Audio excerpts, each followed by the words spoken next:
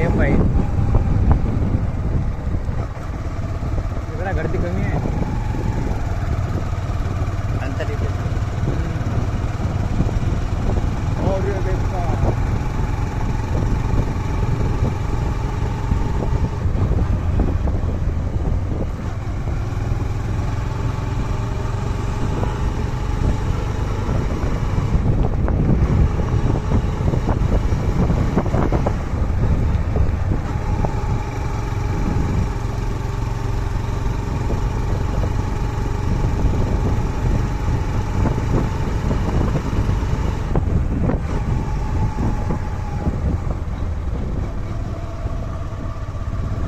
अरे पहले कुठं पडला तर